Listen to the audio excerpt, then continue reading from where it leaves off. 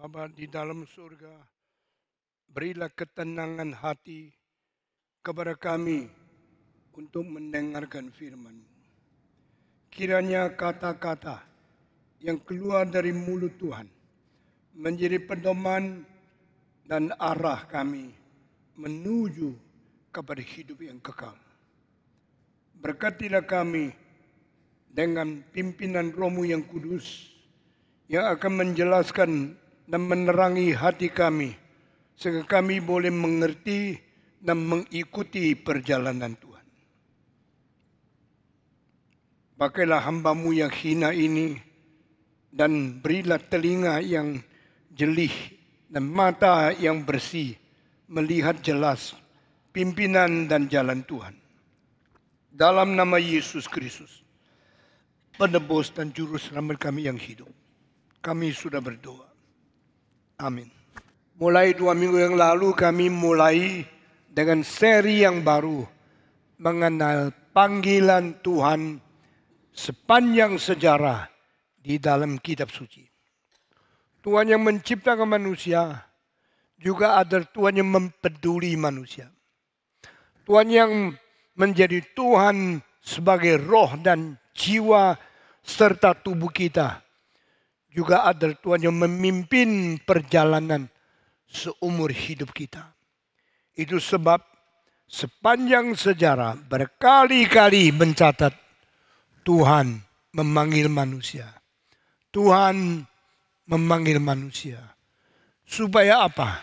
Supaya manusia mendengar suaranya, mengikut arahnya, dan berjalan di dalam pimpinan rohnya. Yesaya pasal 65 ayat pertama dan dua berkata, Sepanjang hari aku melambaikan tangan saya, memanggil umatku kembali kabarku. Tetapi mereka tidak menjawab aku. Betapa kurang ajarnya manusia terhadap sang pencipta yang memanggil dan yang membawa kita kembali kepada dia. Anakku, berilah hatimu kepadaku. Dan mataru harus berkenan dengan perjalanan yang aku tunjukkan kepada engkau. Di dalam kitab dari bijaksana Sulaiman, di dalam kitab daripada perkataan-perkataan bijak dari Sulaiman. Pasal ketiga berkata, tetapkanlah matamu di dalam jalanku. Maka aku akan memimpin engkau menuju jalan hidup yang kekal, engkau tidak akan ditinggalkan oleh aku. Saya mau tanya berapa banyak orang namanya diri Kristen. Tetapi di antara semua yang menyebut diri Kristen, berapa orang yang memperhatikan panggilan Tuhan? Berapa orang yang mendengarkan seruan Tuhan dan mengikuti perjalanan yang disiapkan oleh Tuhan? Kiranya Tuhan memberkati kita di dalam seri ini. Biar ada sebagian orang kita yang betul-betul mencari, menuntut pimpinan Tuhan, dan rela menguji kebenaran itu. Sehingga kita tidak jalan dan hidup sembrono, mengikuti nafsu dan kemauan kita yang sering menyimpang dan sering bersalah sehingga kita boleh menemukan arah yang benar dan berjalan di dalam pimpinan roh yang membawa kita kepada bahagia kekekalan di dalam rencana Tuhan. Saudara-saudara, panggilan Tuhan di dalam kitab suci terus menerus menyatakan panggilan, panggilan, panggilan, panggilan Tuhan terhadap manusia. Mengapakah harus dipanggil oleh Tuhan? Mengapakah manusia tidak bisa sadar? Manusia sudah tertidur di dalam keangkuhan sendiri. Kita sudah dibius oleh kecongkakan kita sendiri. Kita sudah menjadi kabur mata di dalam keadaan nafsu yang melawan Tuhan. Itu sebab kita tidak jelas, kita tidak jelih, dan kita tidak bisa melihat dengan sempurna apa rencana Tuhan. Karena ketiduran, karena kebiusan, karena ketidaksadaran, maka Tuhan tetap memanggil kita. Panggilan pertama di dalam seluruh kitab suci adalah panggilan kepada manusia pertama, yaitu mewakili orang-orang yang menyeleweng, yang mewakili manusia yang berjauhan dari Tuhan, yaitu the first representative of human being in the history, Adam.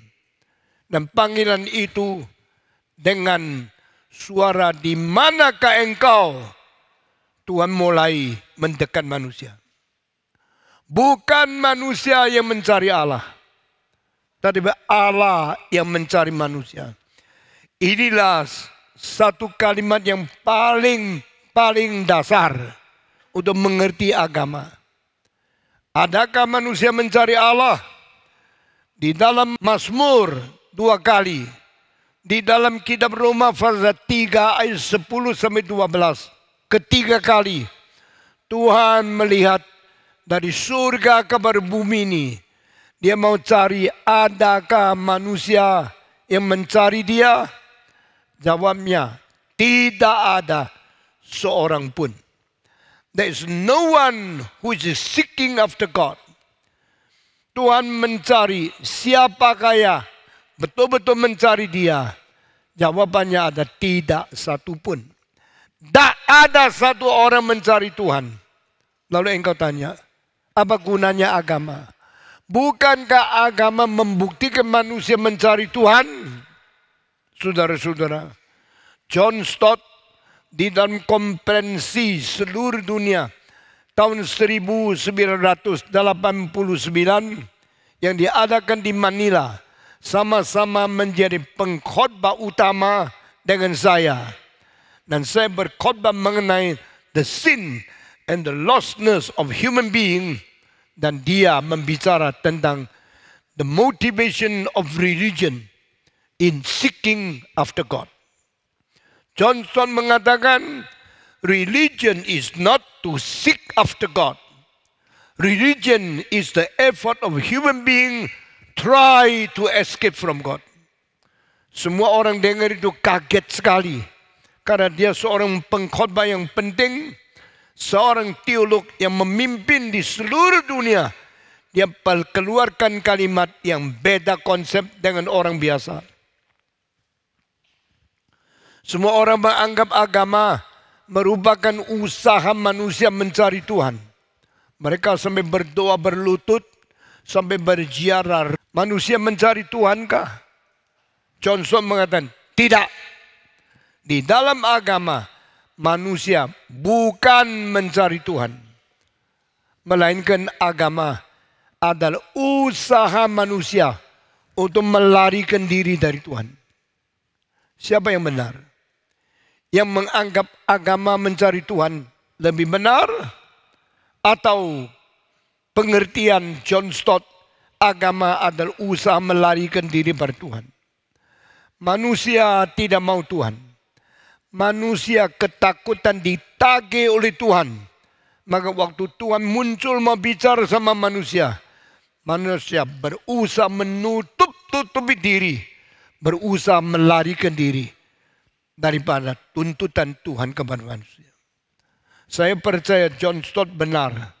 Sayang sekali, dua bulan yang lalu saya berkhotbah di gerejanya John Stott kira-kira sepertiga besar dari gereja ini.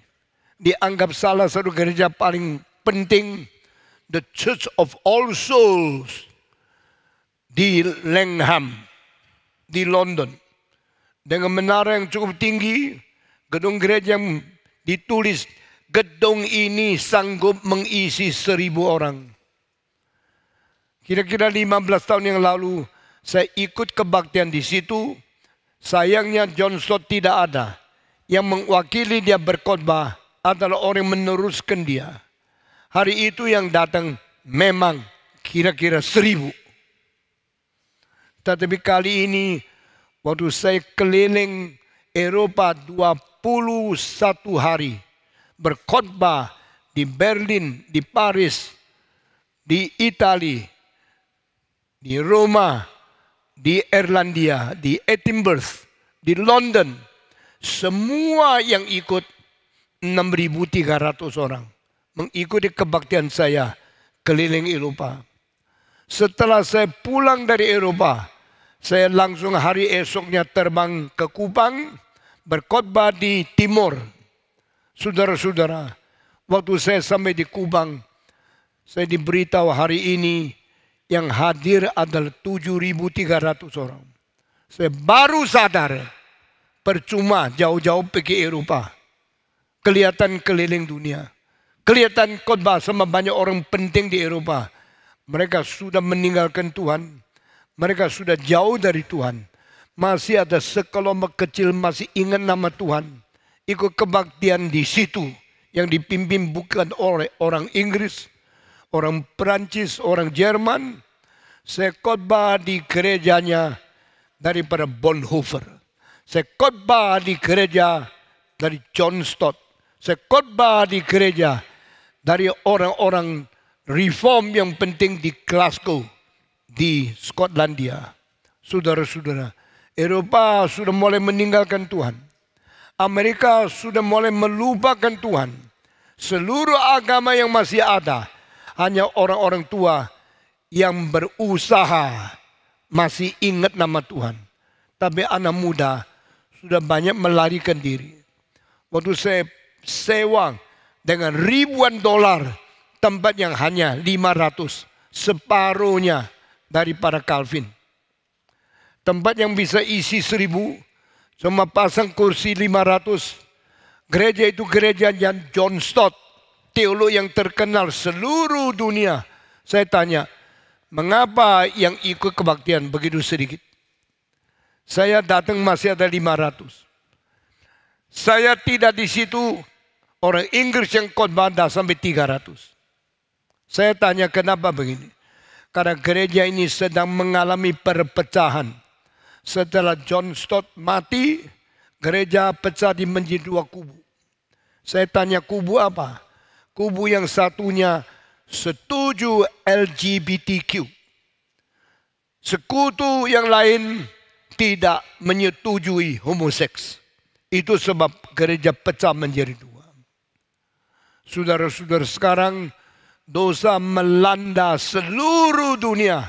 Perjinahan, perjudian, nakorba, diskriminasi, dan sekularisme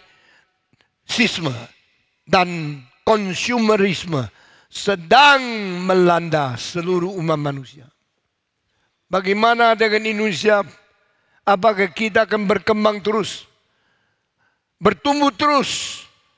membawa lebih banyak orang mencari Tuhan atau kita hanya seperti mencari Tuhan padahal banyak orang berusaha melarikan diri dari Tuhan seperti apa yang dikhotbahkan oleh John Stott saya tidak akan berkompromi selama saya hidup jaga kesucian pelihara penginjilan dan berjalan di dalam pimpinan Roh Kudus Saudara-saudara, Alkitab berkata, Allah yang sejati adalah Allah yang mencari manusia. Allah yang palsu adalah Allah yang dicari manusia. Allah yang sejati, Allah Allah yang mencipta manusia. Allah yang palsu adalah Allah yang dicipta manusia. Allah yang sejati mencipta manusia menurut peta teladan dia. Allah yang palsu diciptakan manusia menurut peta dan teladan manusia. Begitu jelas kebenaran di dalam Alkitab. Tapi manusia tidak dengar, tidak terima, dan manusia tidak rela mau taat firman Tuhan. Saudara-saudara, itu sebabnya Allah yang ambil inisiatif untuk mencari manusia. Ana yang mengambil inisiatif memanggil manusia. Manusia pertama yang dicari oleh Tuhan adalah manusia yang menjadi representatif segala bangsa, segala sudut, segala zaman. Manusia pertama Adam yang dicari oleh Tuhan. Tuhan mencari manusia dan memanggil, di manakah engkau Adam? Apakah sebab Allah tidak tahu? Apakah sebab Allah sendiri tidak mengerti manusia di mana? Maka dia dengan pertanyaan, di manakah Adam? Engkau di mana? Saya lagi cari engkau. Tidak, Alkitab berkata, Allah mencari manusia dengan sikap keadilan, dengan sikap wibawa, dengan sikap kehormatan Allah dan menanya untuk menuntut manusia bertanggung jawab atas identitasnya sendiri. Where are you, Adam? Pertanyaan ini pertanyaan yang mau menghakimi. Pertanyaan menuntut pertanggungjawaban. Di manakah Adam? Engkau sekarang di mana? Pertanyaan ini mengandung tiga arti. Pertama, you should not be here. Di manakah engkau sekarang? Tempat yang engkau berada sekarang bukan tempat asli yang aku cipta dan menaruh engkau di dalamnya. Tempat sekarang yang kau miliki adalah tempat yang sudah jatuh daripada original tempat engkau sudah merosot. Engkau sudah tenggelam. Engkau sudah berada di tempat melarat. Itu sebab saya tanya di manakah engkau? Engkau tidak seharusnya di sini. This is not the original place you should have with your identity. Sekarang Tuhan juga tanya, di mana ke engkau? Kenapa engkau pergi pelacuran? Jawab. Mengapa engkau pergi ke tempat perjudian? Jawab. Mengapa engkau tidur sama perempuan yang bukan istrimu? Jawab. Manusia yang kurang ajar berhenti melawan Tuhan karena dia mempunyai kesehatan, dia mempunyai kebebasan, dia mempunyai hak kemerdekaan agama. Kalimat yang sangat menipu. Kebebasan agama telah dijadikan sesuatu kedukan, sesuatu penyamaran di mana manusia berani melawan Tuhan. Saya berbebas agama. Kebebasan agama di dalam arti sesungguhnya kitab suci adalah lepas daripada dewa-dewa yang palsu. Lepas dari ikatan iman yang salah. Keluar dari perbudakan Firaun. Pergi menyembah Allah yang sejati. Itulah kebebasan agama. The freedom of religion The true meaning in the Bible is escape from those who are controlling you, who are occupying, and who are now possessing you from believing in the true God and make you the servant and the slave of the idols. Kalau engkau masih berada di bawah dewa palsu, di dalam Allah yang tidak benar, dan engkau menyembah. Dan engkau melayani dewa-dewa palsu dan ilah-ilah yang palsu, engkau tidak ada kebebasan. Tetapi kalau engkau mau mengalami agama dan kebebasan agama, kebebasan beriman kepada agama yang sejati, lepaskanlah dirimu dari berajaran sesat, dari agama salah, kembali menyembah sujud kepada Allah yang sejati melalui Yesus Kristus anak yang tunggal itu. Itulah kebebasan agama. Karena salah mengerti, maka Alkitab mengatakan sekalian manusia sudah berjalan di dalam jalan sendiri, masing-masing sudah berontak kepada Tuhan. Masing-masing sudah sesat di dalam perjalanan semau sendiri. Itu sebab Tuhan panggil Adam, di mana engkau? Engkau tidak seharusnya berada di dalam tempat sekarang ini. Tempat sekarang ini ada tempat kemerosotanmu. Tempat sekarang ini adalah tempat penyelewanganmu. Engkau seharus menemukan asal usul yang aku berikan kepada engkau di dalam tempat status kebenaran, keadilan, kesucian, cinta kasih, dan di dalam kemurahan Tuhan terhadap sesamamu. Kalau engkau meninggalkan lima hal itu, engkau bukan bebas dan engkau bukan mandiri, engkau sedang dikuasai di dalam belenggu iblis. Adam dipanggil oleh Tuhan. Ini dipanggil pertama. Panggilan pertama untuk manusia adalah panggilan untuk kembali kepada status yang benar. Panggilan kembali kepada tebusan selanjutnya. Panggilan kembali kepada hari depan yang memberikan hidup kekal kepada manusia. The first calling of God is concerning your identity concerning your lostness. And God is calling you to return to Him, to the original status, to the coming redemption, and a new direction for your life to return to God.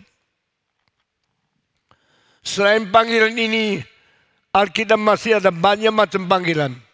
Ada panggilan secara kolektif untuk bangsa seluruh bangsa yang menyeleweng, Tuhan panggil untuk kembali kepada Tuhan. Misalnya lepas daripada belenggu semua yang disebut idola-idola palsu. Kembalilah kepada Tuhan yang asli. Tinggalkanlah Baal. Itu zamannya Elias. Zamannya Musa. Zamannya Elias. Zamannya semua nabi-nabi yang menegur kepada penyembahan terhadap dewa yang palsu. Itu ada panggilan Tuhan supaya seluruh bangsa Israel kembali menyembah Tuhan. Sebagai hamba Tuhan saya harus berteriak, Hai orang Kristen lepaskan jimanmu, lepaskan dewamu, melepaskan ilah-ilah palsumu, yang tidak percaya kepada Allah Tritunggal. Mari kita kembali kepada Tuhan. Kembali melalui Yesus Kristus untuk menyembah Allah yang sejati di dalam surga. Ada panggilan Tuhan untuk seluruh bangsa kembali. Itu sebab Allah kirim nabi-nabi di dalam perjanjian lama. Masih ada panggilan Tuhan. Bukan secara kolektif, secara personal secara pribadi manusia dipanggil oleh Tuhan. Karena orang-orang ini adalah orang-orang minoritas yang merupakan menerima panggilan pribadi untuk menjalankan kehendak Tuhan. Tuhan memberikan panggilan kadang-kadang untuk seseorang yang minoritas, yang sangat tersendiri, yang tidak ada backing apa pun tetapi ada tugas yang besar. Tuhan memberikan kepada orang itu. Maka dia itu dipanggil untuk mengikuti Tuhan. Untuk menjalankan pimpinan Tuhan. Untuk melakukan tugas yang dimandatkan oleh Tuhan. Orang-orang ini penting sekali. Meskipun tersendiri. Meskipun minoritas. Meskipun tidak dimengerti oleh sejaman atau semasyarakat dia. Tapi kalau dia sudah dengar panggilan Tuhan, dia harus bertanggung jawab menerima panggilan, mentaati pimpinan, dan menyerahkan diri kembali kepada Tuhan. Orang semacam ini di dalam kitab suci banyak sekali memberikan contoh kepada kita. Dan orang pertama di dalam seluruh sejarah yang dipanggil Tuhan lepas dari negara sendiri. tinggalkan bangsa sendiri. Keluar dari rumah bapaknya sendiri. Orang ini namanya Abraham. Saya mau tanya panggilan pertama untuk Adam. Panggilan kedua untuk Abraham.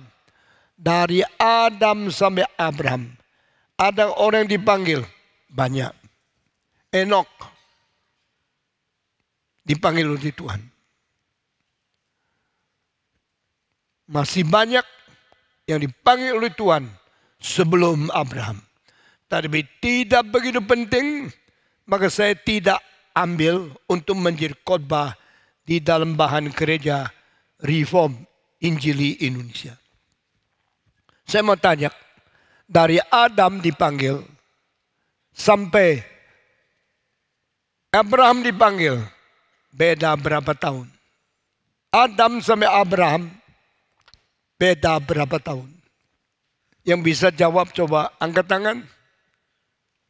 Berapa tahun setelah Adam dicipta sampai Abraham muncul di dunia? Saya kasih berapa jawaban yang setuju coba angkat tangan. Adam sampai Abraham kira-kira 2000 tahun. Yang setuju angkat tangan? Satu pun tidak ada. Saya tanya usulan kedua. Adam sampai Abraham lebih 3000 tahun. Coba angkat tangan. Satu, dua. Adam sampai Abraham. Ada 4000 tahun. Coba angkat tangan. Satu. Ah, kalau saya suruh naik ke atas, kasih tahu saya jawabanmu dasar apa. Semua ketakutan dan berani berdiri. Jangan ketawa.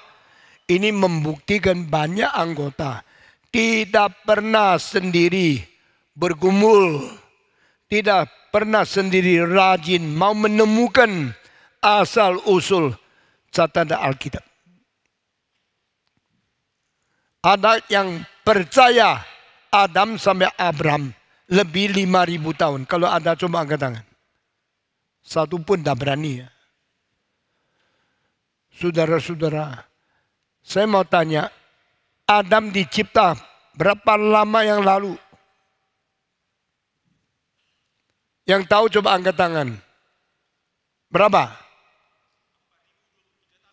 Ah? Apa? Dia bilang apa? Empat ribu sebelum? Sebelum apa? Sebelum sekarang? Atau sebelum Yesus Kristus? Dari sekarang 4000 tahun yang lalu Adam dicipta. Sama sekali salah.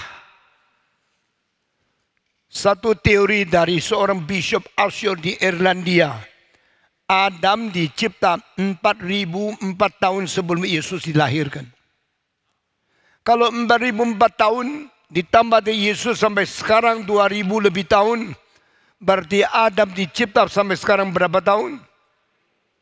6000 lebih tahun. Ini pun salah. Karena engkau tidak menyelidiki. Engkau menjadi orang Kristen maunya asal jadi. Semua jawaban pendeta kasih tahu saya. Saya tidak mungkin ada kesempatan menemukan teologi. Baca buku atau ikut kelas, ikut seminar pun sangat tergantung kalau pembicara seminar mengerti cukup dan rela memberitahu kepada engkau rahasia. Kalau tidak banyak orang Kristen membabi buta ikut semua ajaran yang tidak pernah diselidiki, tidak pernah dikecek, tidak pernah dikonfirmasi benarnya. Sekarang kembali, apakah Adam dicipta 4004 tahun sebelum Yesus lahir? Itu kalimat benar dari siapa? dari bishop dari Irlandia namanya Archer. Apakah betul Adam dicipta 4000 tahun sebelum Yesus Kristus? Dasarnya apa? Dasarnya ahli-ahli Alkitab yang memakai cara mengumpulkan tahun-tahun yang berada di generasi generasi generasi generasi generasi generasi yang sambung menyambung menurut apa yang dicatat dalam kitab suci. Adam umur berapa? Melahirkan Said. Said umur berapa? Melainkan anaknya. Anaknya umur berapa? Melainkan cucunya. Dikumpul terus. Dari zaman Adam sampai Yesus 4000 tahun. Maka Asyur berani mengatakan Adam dicipta 4000 lebih tahun sebelum Yesus Kristus. Dasar ini diterima oleh banyak ahli sekolah Alkitab sampai abad 1902, 1908 dan 1913 ada beberapa orang berani menongkel teori ini. Salah satu adalah J. B. Raven, R-A-V-E-N. Dia mengatakan kalau kita menemukan semua generasi umurnya berapa, berapa, berapa, berapa. Dan dikumpulkan, kita kira, kita sudah tahu Adam dicipta berapa tahun sebelum Yesus. Tetapi jangan lupa, di dalam Alkitab ada loncatan generasi. Misalnya Stephen Tong anaknya David Tong, cucunya Daniel Tong, tetapi lupa catat anak, langsung catat cucu. Sehingga ada loncatan generasi yang kita tidak tahu. J.B. Raven menemukan perbedaan antara kejadian dan Lukas. Yang satu di dalam perjanjian lama, satu di dalam perjanjian baru. Di dalam perjanjian lama, kitab kejadian mencatat dari Abraham sampai Nuh adalah sepuluh generasi. Tetapi Injil Lukas pasal 3 ditemukan oleh Raven dicatat dari Nuh sampai Abraham adalah sebelas generasi. Berarti satu generasi puluhan tahun, ada yang lebih seratus tahun tidak catat.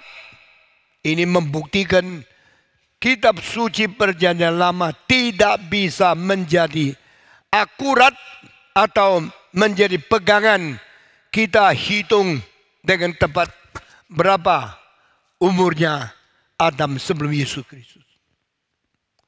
Pada tahun 1913 seorang Inggris namanya John Urquhart.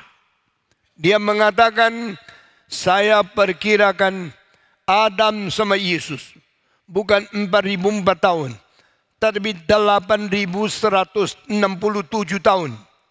Ini pertama kali ada ahli kitab suci berani mengatakan tahunnya Adam sebelum Yesus. 8167 tahun. Saya lebih tua dari Anda. Tapi di sini banyak anak muda lebih malas dari saya. Tidak mau belajar, tidak mau beli buku, tidak mau menyelidiki teologi, tidak mau mengetahui sejarah. Taunya seenak mungkin dengar khotbah. Bacalah buku. Gereja yang mempersiapkan buku yang baik. Gereja-gereja yang memberikan seminar yang bermutu. Engkau juga tidak mau ikut kami undang profesor dari Jerman, profesor dari Belanda, profesor dari Amerika untuk mengajar di sini. Tidak usah bayar pun tidak mau datang. Kamu orang Kristen macam apa? Saya tidak tahu. Saya tahu saya seorang pemuda dari masa saya masih muda. Saya tuntut, saya rajin, saya menyelidiki. Saya bukan orang asal jadi terima seenaknya. Saya orang yang mau belajar, mau menyelidiki, mau mengetahui secara tuntas. Saudara sebanyak sini tetap tidak mau belajar, tetap tidak mengerti, terus menerus hidup sembrono. Saya mau tanya, sampai kapan hidupmu seperti ini? Waktu Tuhan Yesus datang kembali memberikan ujian kepada kita satu persatu. Engkau baru sadar berapa sulitnya engkau bertahan berdiri di hadapan Tuhan. Lalu ada penyaringan datang, engkau akan terkucil. Kiranya Tuhan memberkati kita. Saudara-saudara, J.B. Rewen membangunkan orang yang belajar kitab suci dengan berkata, jangan kira Adam dicipta bu lebih tahun sebelum Yesus. Itu salah. Kata loncatan generasi-generasi yang tidak pernah dicatat, sehingga pasti lebih dulu dari waktu itu. Lalu 1913 John Urquhart di Inggris berani mengatakan Adam sama Yesus 8167 tahun ditambah dengan Yesus sampai sekarang lebih 2024 tahun. Berarti lebih 10 ribu tahun yang lalu Adam sudah diciptakan. Jikalau Adam diciptakan lebih 10 ribu tahun yang lalu, Sedangkan Abraham sudah boleh ditemukan usianya dari dia keluar dari Ur sampai hari ini 2024 kira-kira lebih 4000 tahun lebih 20 lebih. Kalau demikian berarti paling sedikit dari Adam sampai Abraham ada 6000 tahun. Dan banyak hal yang kita tidak bicara dan banyak hal yang dicatat Alkitab tapi tidak jelas sehingga kita meloncat terus dari panggilan Allah pertama kepada manusia Adam di manakah engkau? Paling cepat sesudah itu kita loncat 6000 tahun. Tuhan Allah memanggil orang kedua yang penting yang kita sebut hari ini Abraham Abraham Abraham aku memanggil engkau. Dari Adam sampai Abraham, lebih 6000 tahun, kita terlalu kabur tentang panggilan Tuhan. Dan saya mau tanya, apakah panggilan kedua ini? What is the calling of God toward Abraham, the second person we mentioned in this pulpit? Di dalam mimbar ini kita menyebut panggilan kedua dari Allah adalah untuk Abraham. Satu-satunya orang di dalam seluruh kitab suci yang dihargai oleh tiga agama adalah manusia yang namanya Abraham. Abraham dijadikan bapak orang beriman di dalam agama Islam. Abraham disebut bapak orang beriman di dalam Protestan dan Katolik. Abraham dianggap bapa orang beriman di dalam agama Yahudi. The father of three faiths. Islamic, Christianity, and Judaism. Di dalam tiga agama yang sama-sama menunjang semua yang menghormati Abraham ini apa sebabnya? Semua agama menjunjung tinggi karena mereka semua tahu iman mereka dimulai dari Abraham. Islam percaya Abraham salah satu nabi yang terbesar. Kristen percaya Abraham salah satu hamba Tuhan yang terbesar. Yahudi percaya Abraham bapak kepercayaan orang Israel. Jikalau semua agama percaya Abraham itu penting sekali. Saya mau tanya, pentingnya Abraham di mana? Abraham dipanggil Tuhan. Dia dengar panggilan suara apa? Apa perintah yang diberikan Tuhan kepada Abraham? Apa tindakan yang Abraham lakukan untuk mentaati panggilan itu? Ini tercantum di dalam dua tempat yang penting. Satu tempat ada peristiwa terjadi. Ayatnya di surat buku kejadian pasal 12 ayat 1. Mari kita membuka bersama-sama. Buka kitab suci, buku kejadian, pasal 12, ayat pertama. Saya minta Ivan Kristiono naik ke atas, membaca ayat ini kabar kita semua. Buku pertama di dalam kejadian pasal ke-12 ayat pertama. Mari kita mendengarkan panggilan Tuhan kepada Abraham. Berfirmanlah Tuhan kepada Abram, pergilah dari negerimu dan dari sanak saudaramu dan dari rumah papamu ini ke negeri yang akan kutunjukkan kepadamu. Sekali lagi semua ikut satu dua tiga. Berfirmanlah Tuhan kepada Abram, pergilah dari negerimu dan dari sanak saudaramu dan dari rumah papamu ini ke negeri yang akan kutunjukkan kepadamu. Inilah panggilan pribadi, bukan untuk bangsa. Inilah panggilan personal, bukan secara bangsa, satu nation. Bukan kolektif, tetapi satu orang dipanggil. Saudara-saudara, Mengapa Tuhan mau panggil kepada satu orang saja? Bukankah satu orang itu tidak terlalu penting? Bukankah satu orang ini sangat tersendiri? Bukankah satu orang itu terlalu sedikit? Tapi Tuhan berkata, Aku akan membuat bangsa besar melalui satu orang. Jangan menghina pribadi. Jangan menghina satu orang kecil Waktu Stephen Tong dipanggil hanya umur 12. Waktu dikonformasi umur 17. Seorang sekolah menengah, seorang yang miskin. Saya begitu miskin. Sampai enam tahun sekolah di sekolah menengah, SMP tiga tahun, SMA tiga tahun. Waktu ingin mendapatkan satu gelas air, tidak ada uang, tidak berani masuk kantin karena kantongnya kosong. Saya selama enam tahun sekolah di SMP dan SMA di Surabaya hanya pernah minum dua kali teh yang tidak es paling murah. Enam tahun cuma minum dua kali. Orang yang tidak ada ayah, orang yang umur tiga menjadi seorang piatu, Orang yang sekolah rajin, keras, akhirnya menjadi sukses. Ada orang miskin di dalam sekolah itu. Tetapi jangan hina anak yang miskin ini dipanggil Tuhan dengan tugas yang besar.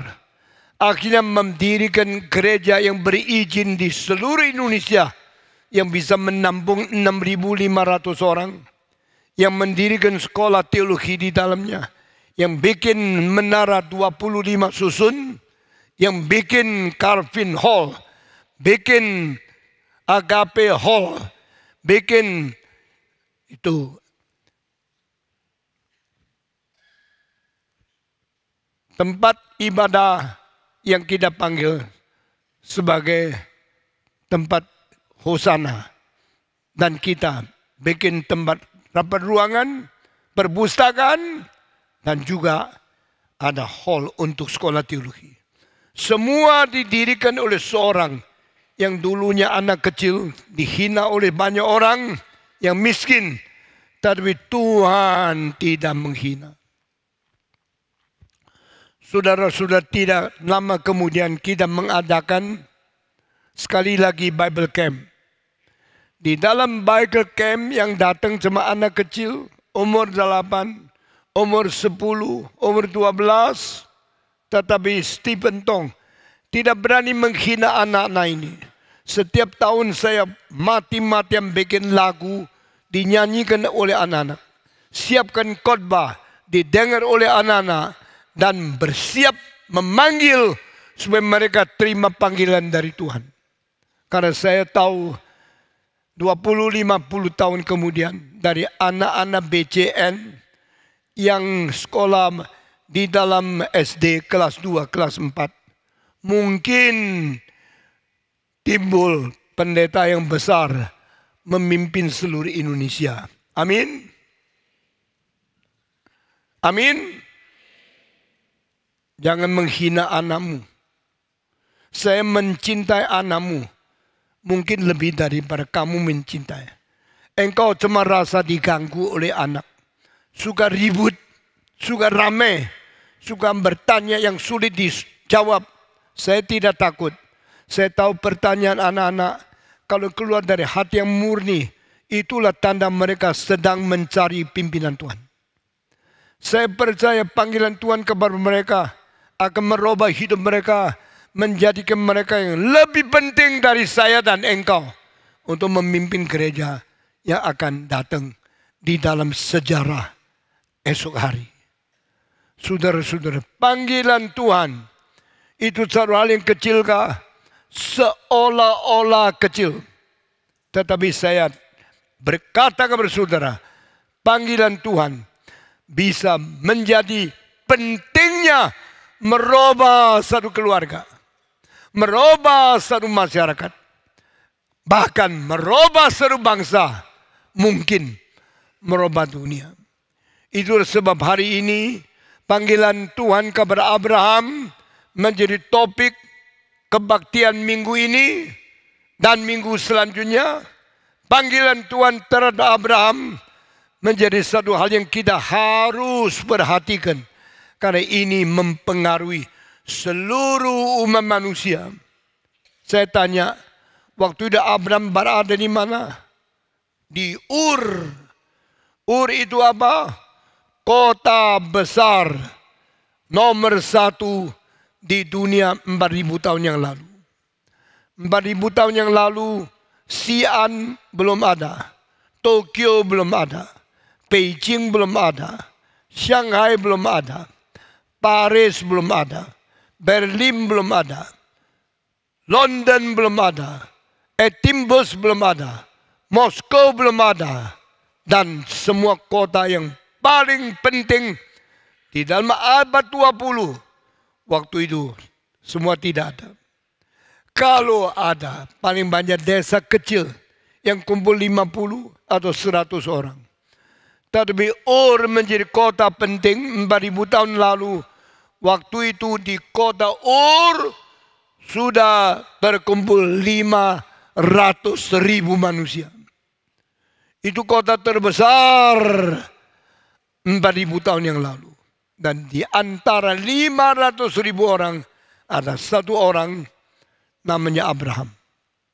Waktu Tuhan dari surga melihat ke bawah. Dia bukan lihat Mesopotamia yang besar. Dia tidak lihat semua padang pasir yang raya sekali. Dia tidak lihat India, Tiongkok, Jepang, Rusia yang sekarang penting sekali. Zaman itu Tuhan cuma lihat di Mesopotamia ada satu orang umur 75 tahun. Dan orang itu diindahkan oleh Tuhan dihargai oleh Tuhan. Dan Tuhan mencari dia. Inilah panggilannya. Pada saat Abraham umur 75, ada panggilan dari surga berkata kepada dia, Abraham, Abraham, ya Tuhan, apakah yang saya harus tahu tentang kehendakmu Apakah yang saya harus mengerti tentang firmanmu? Pergilah dari tempat ini.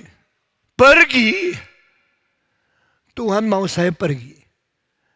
Tidak boleh saya tinggal lagi di sini. Ya, engkau pergi.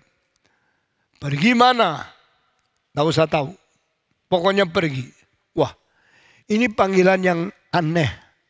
Panggilan yang sulit diikuti. Karena disuruh pergi, saya kalau betul-betul jalankan, kalau saya betul-betul pergi, coba kasih tahu pergi ke mana. Tidak tahu.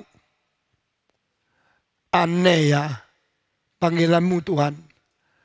Kamu sangat-sangat aneh. Panggil saya pergi ke tempat yang saya tidak tahu di mana.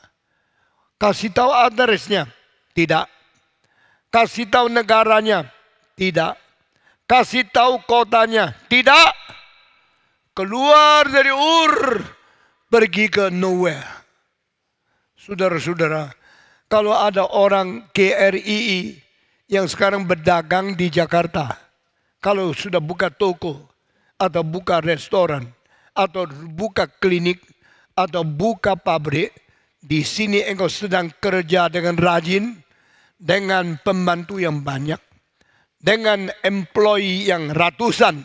Lalu Tuhan berkata, keluar dari Jakarta, pergi ke tempat lain, sekarang berangkat. Engkau mau enggak? Yang mau coba angkat tangan. Eh, dengar ya. Kalau Tuhan hari ini suruh engkau pergi dari Jakarta, engkau mau enggak? Engkau bilang, mau sih tak mau, tapi kasih tahu dong, pergi mana dong? Aku akan pindahkan engkau ke kota New York. Oh, mau, mau. Aku pindahkan engkau ke Madura. Enggak, enggak. Aku pindah engkau ke Padang Belantara. Siapa mau? Di situ mau makan apa? Di situ mau kerja apa? Di situ mau bikin pabrik di mana? Tuhan terlalu sulit panggilanmu. Inilah yang terjadi 4000 tahun yang lalu. Sekarang saya melukiskan tempat yang ditinggali oleh Abraham. Abraham tinggal di kota apa? Ur. Ur kota kecil atau kota besar? Hah? Besar atau kecil? Kota terbesar di dunia. Berapa penduduk? Lebih 500 ribu. Banyak rumah? Banyak. Rumahnya besar kecil? Besar. Rumah terbesar di Ur ditemukan kira-kira 5-60 tahun lalu oleh arkeolog di dalam abad ke-20. Mereka menggali kota Ur. Ada minaret yang tinggi sekali. Ada dataran yang sangat tinggi. Ada sawah yang sangat subur ada perairan-perairan irigasi yang sangat maju sekali. Mereka heran. 4000 tahun yang lalu, sudah kota yang begitu penting, dengan fasilitas yang begitu sempurna, dengan segala pembangunan infrastruktur yang begitu sempurna. Dan mereka menggali rumah yang ada lima kamar. Waduh besar sekali ada yang 20 kamar, lebih besar.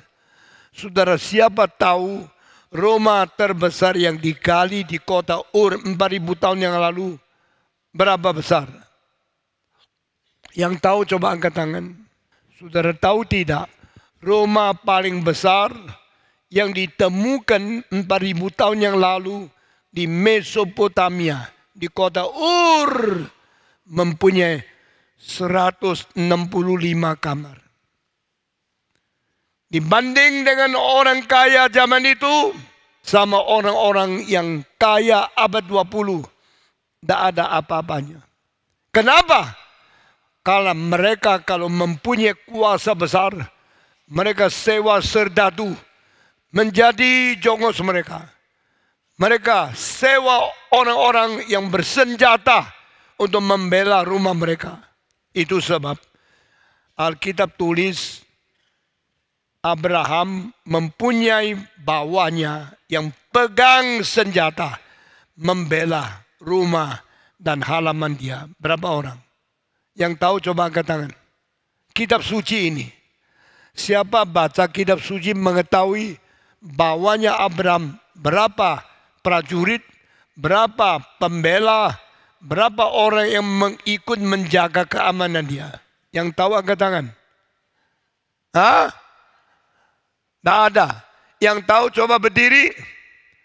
Siapa yang bisa menjawab? Abraham punya bawahan berapa orang? Ini semua anggota gereja Reform Injili Indonesia yang malas, yang baca kitab suci tidak peduli. Sekarang saya kasih jawaban. 318 orang mengikut Abraham. Mereka bukan orang biasa. Mereka bisa membawa senjata. Bisa membunuh musuh. Bisa membela tanah. Dan membela bangunan rumah yang besar dari Abraham. Saya percaya yang ditemukan kamar 165 rumah yang paling besar tetap bukan rumah Abraham. Karena 165 kamar tidak cukup mengisi kebutuhan daripada orang di bawah Abraham. Jika engkau mempunyai pabrik lebih 300 orang, termasuk pabrik besar.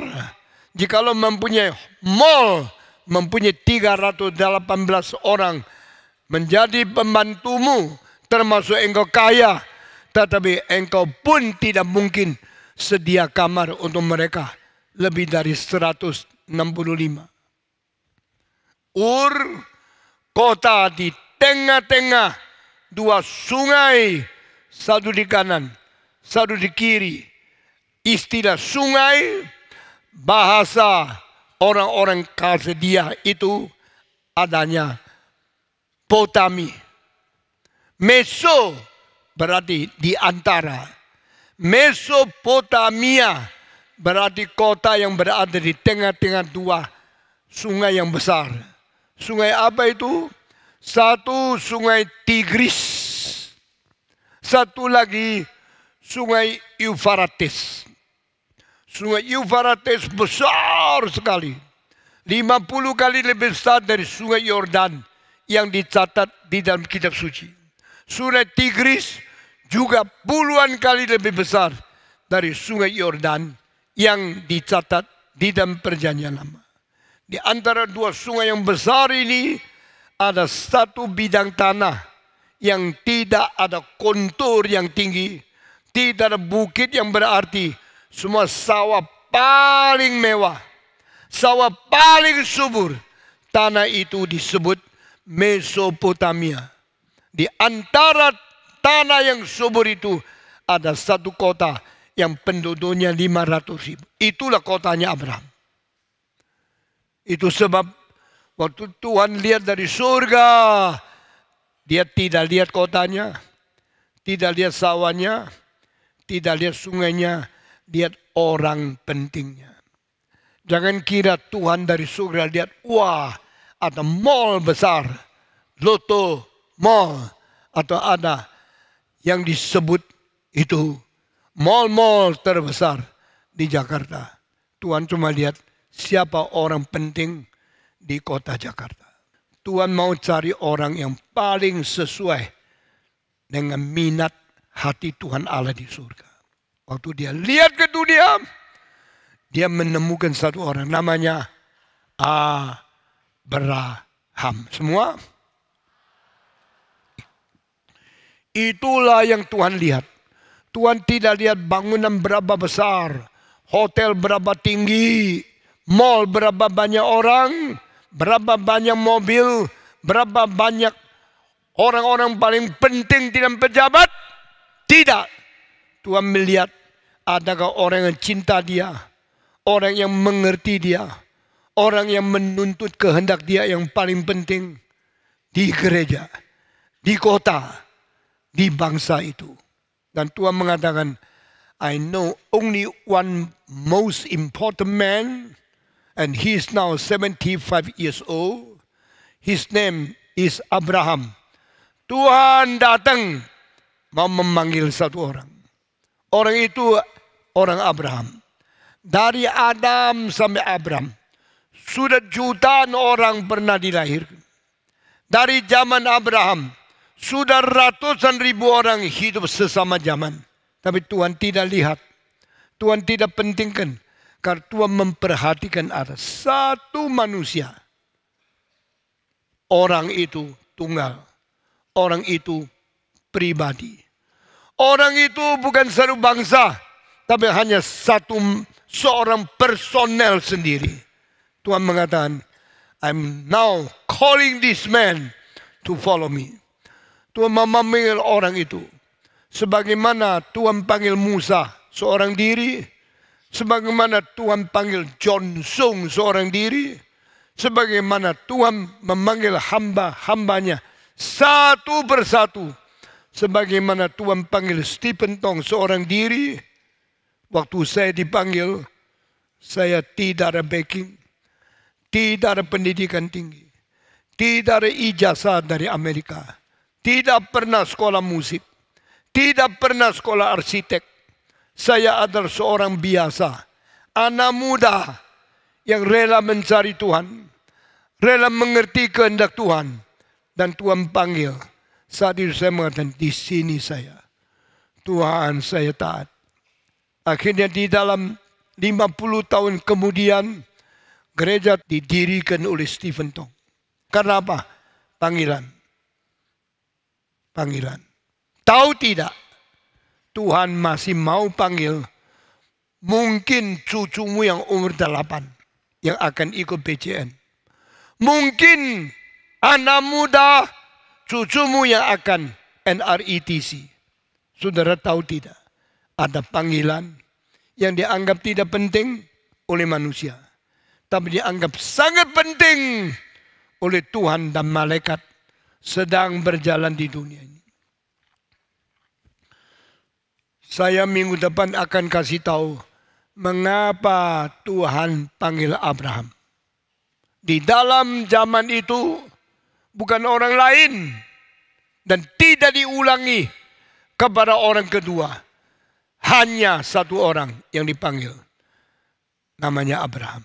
Minggu depan saya memberikan penjelasan dari arkeologi, daripada sejarah yang banyak pendeta tidak tahu.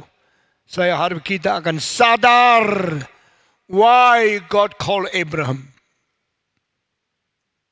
Saudara-saudara sekalian, waktu Adam dipanggil oleh Tuhan, Tuhan memberikan sesuatu keanehan. Di mana dia tahu dia harus pergi dari mana.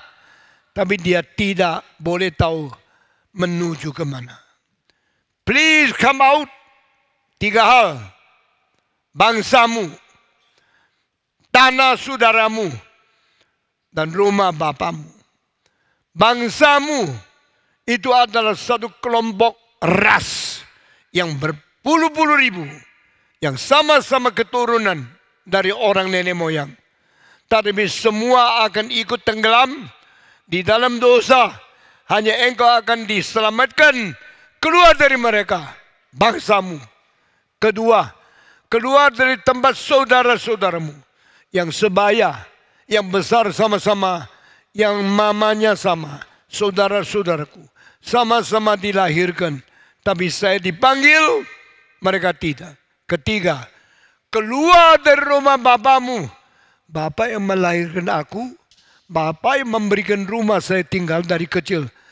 Tuhan saya sudah biasa di sini. Tuhan saya sudah puluhan tahun hidup di sini. Tuhan mau saya keluar untuk apa? Mengapa harus meninggalkan Bapak? Meninggalkan saudara? Meninggalkan ras bangsaku sendiri? Tahu usah tanya. Saya mau engkau keluar. Lalu ke mana Tuhan? Coba beritahu, pimpin saya ke negara mana? Tinggal di kota mana? Jalan nomor berapa? Saya catat, saya persiapkan hari depanku. No. You need not to know which country are you going. Which town are you residing. And which number of your house. I will never tell you. Maka saya kira ini salah satu tugas yang paling sulit dilaksanakan oleh seorang yang dapat panggilan Tuhan. Kalau engkau menjadi dokter di rumah sakit di Jakarta, Tuhan berkata, bawa tempat suntikmu, bawa semua alat kedokteranmu, keluar dari rumah sakit itu. Oh Tuhan, mau pindah saya ke mana? Tidak usah tahu. Saya akan bawa engkau lain tempat. Ke tempat mana tak tahu. Engkau ikut. Bawalah semua milikmu. Bawalah semua bawaanmu. Bawalah semua pegawai. Abraham pikir cilaka. Saya kalau satu orang pindah rumah. Berapa susah. Karena saya sudah ada Sarah. Istri saya. Waktu itu belum ada istri yang punya anak. Dia belum dikasih anak keturunan dia masih seorang diri. Ini tercatat di dalam buku Yesaya. When Abram was all he alone, God called upon him. Waktu Abraham seorang diri, saya berpuluh-puluh tahun memikirkan Apa arti ayat itu? Abraham seorang diri. Minggu depan baru saya masih kasih tahu Anda apa artinya Ur. Kenapa zaman itu dia dipanggil? Waktu dipanggil kenapa disebut dia seorang diri? Ini semua rahasia yang penting. Mari anggota gereja Reform Injili Indonesia semua mengetahui sebabnya Abraham dipanggil. Saat itu dia seorang diri. Di Ur kenapa harus dipanggil? Setelah dia panggil, Ur jadi apa? Saya berkhotbah di kota Orlando di Amerika. When Abram was called to move out from Mesopotamia. Mesopotamia has no significance at all. Need not to exist. Kalimat itu bikin Ferguson, seorang teolog mengatakan, Stephen Tong, you are very different. What you preach, very different from others. Engkau berkata, setelah Abraham keluar dari Mesopotamia, Mesopotamia sudah boleh tidak ada. Waktu Musa keluar dari Mesir, mesin tidak boleh, sudah boleh tidak ada. Waktu Paulus meninggal dunia, Roma sudah boleh tidak ada. Kalimat-kalimat ini tidak muncul di dalam Alkitab. Kalimat-kalimat ini tidak muncul dari banyak mulut hamba Tuhan. Tapi Stephen Tom berani mengatakan keberadaan satu orang penting menentukan negara itu, tanah itu, zaman itu tetap dipelihara oleh Tuhan. Jikalau orang itu sudah tidak ada, sudah pergi, bangsa ini boleh binasa karena yang penting orangnya. Saudara-saudara, saya takut Gereja Reform Injili Indonesia ada satu keharusan yang Tuhan pilih dan Tuhan tempatkan kita di zaman abad 21 di Indonesia. Kalau satu hari kita tidak lagi mengabar Injil, kita tidak lagi pegang doktrin teologi reform, kalau satu hari kita semua melupakan ini, kita tidak ada lagi. Mungkin Tuhan membiarkan bangsa zaman ini hancur. Saudara-saudara, waktu saya lihat Bill Graham sudah pergi dari Amerika. Saya lihat John Stott sudah mati di Inggris. Saya lihat Martin Lloyd Jones tidak ada lagi di London. London masih ada di situ untuk apa? Amerika zaman masih ada untuk apa? untuk LGBTQ, untuk aborsi, untuk homoseks, untuk segala kejahatan yang masih ada di Amerika. Mungkin tidak perlu ada lagi. Demikian, kalau Abraham dipanggil Tuhan keluar dari Ur, berarti Tuhan sudah sedia mau menghancurkan Mesopotamia. Kiranya Tuhan memberikan pengertian kenapa ada panggilan. Kenapa orang tertentu dipanggil Tuhan. Mari kita mengerti rencana Tuhan. Jangan main-main. Dan bersedia untuk menerima kalau panggilan Tuhan untuk kita tiba kepada kita. Mari kita taat kepada dia. Hari ini sampai di sini dulu. Mari kita semua tunduk kepala masuk dalam doa. Saya minta pendeta Aiter naik ke atas, pimpin kita berdoa di hadapan Tuhan. Semua tunduk kepala, semua tutup mata. Mari kita berdoa bersama-sama. Kami berterima kasih jikalau di dalam dunia ini frekuensi-frekuensi radio memancarkan suara-suara yang banyak kami tidak bisa dengar. Tetapi semua frekuensi akan berakhir tapi suara Tuhan terus berkumandang dari zaman ke zaman. Waktu semua sudah tertidur, Tuhan masih berkata-kata kepada umat-umat Tuhan. Dan kami berterima kasih melalui firman yang kami dengar pada hari ini. Tuhan sekali lagi berkata-kata kepada umat-umat Tuhan di tempat ini. Dan di tempat-tempat yang jauh Tuhan juga memakai hamba-hamba Tuhan terus bersuara Terima kasih Tuhan untuk suara Tuhan yang terus memanggil, suara Tuhan yang tidak berhenti di dalam menegur dan membawa umat Tuhan kembali kepada jalan yang Tuhan mau. Tuhan berkati melalui semua khotbah seri panggilan. Tuhan membangkitkan lebih banyak lagi hamba-hamba Tuhan yang kelak akan meninggalkan negerinya, meninggalkan sanak keluarga, meninggalkan rumah bapa dan akan pergi dan akan disiapkan untuk melayani Tuhan di mana saja. Dengar doa kami ya Tuhan dalam nama Tuhan Yesus. Kami berdoa. Amin. Amin.